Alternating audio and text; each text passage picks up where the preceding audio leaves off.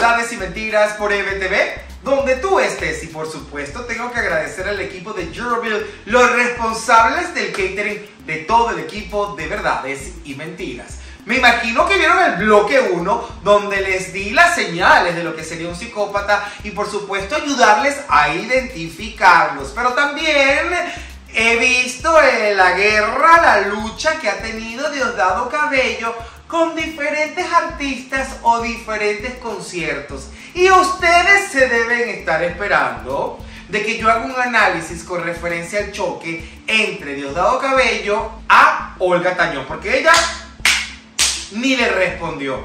Pero vamos a ser ahora más sensatos.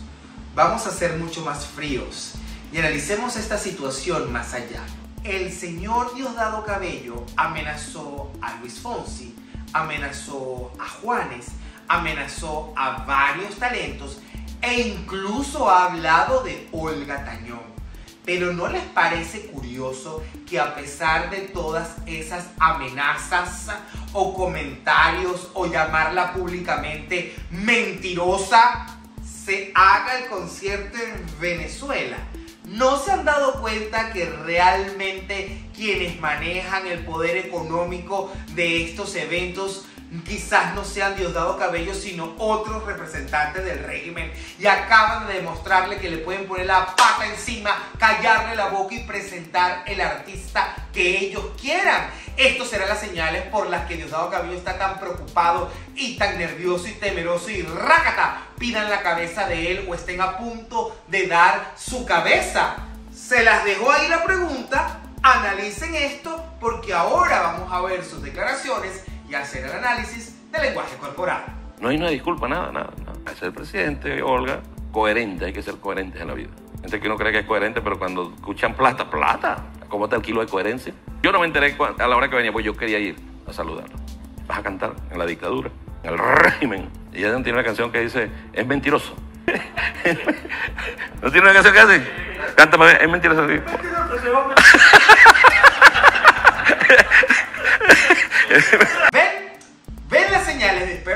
con tanto tiempo trabajando conmigo acá en el programa tienen que haber aprendido. La primera señal de Diosdado Cabello al hablar con referencia al concierto y a Olga Tañón es mantener las manos sostenidas o agarradas al papel. Ningún momento quiso soltarlo. Y esto nos da una señal, según la neuratoria la neurolingüística, que está de manos atadas, de que está de manos amarradas, que otras personas están controlando y están decidiendo lo que se hace o lo que no se hace dentro de Venezuela. En dos palabras, Diosdado ya no eres el número 5, ya debe ser el número 150 eh, para abajo, o sea, ya caíste en caída libre, porque definitivamente esto es una señal bien importante. Y además, para poderles destacar este análisis, una, una, una vasoconstricción en tonalidades púrpura o morado. Dense cuenta en su rostro toda la oscuridad, toda la marcación que hay, lo que nos da definitivamente las señales, según el lenguaje corporal y la neurolingüística, que está súper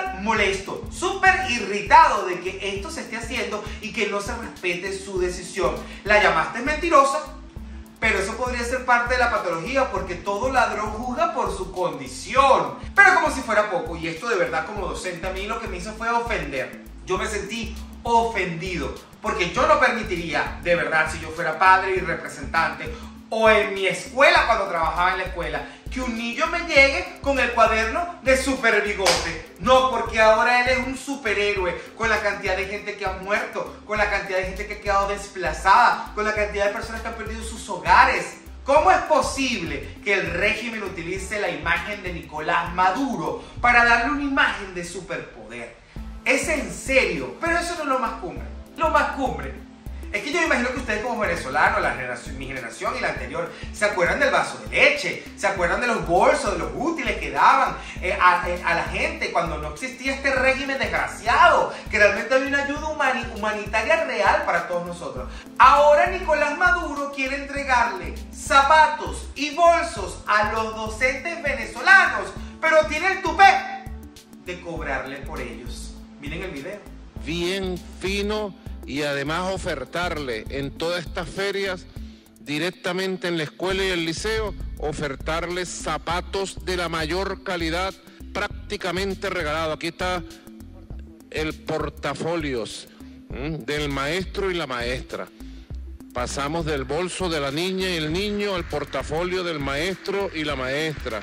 Y además distintas modalidades de zapatos, como las cosas, bueno, nosotros vamos a subsidiar buena parte para que estos zapatos bien bellos les van a costar 9 bolívares directamente. Y usted va a poder comprar sus zapatos, sus zapatos bellos de gala, de hombre. ¿Cuánto habrán costado sus zapatos? ¿Cuánto habrán costado? ¿Qué? 5 centavos de, bolívar para que te estés cobrando ahora 9 bolívares. ¿Qué va a pasar con el docente que se va caminando todos los días allá en Pariaguán o allá en algún pueblo del Táchira, algún pueblo de Mérida o algún pueblo por allá por Yaracuy que se van caminando todos los días a hacer su trabajo de formar y educar a las nuevas generaciones? Esos zapatos van a aguantar de verdad.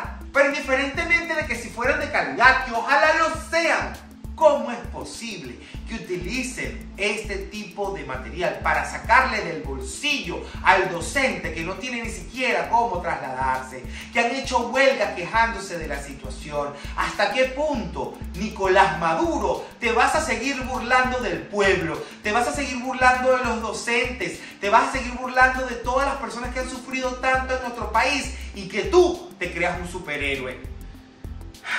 Déjenme respirar, mi gente.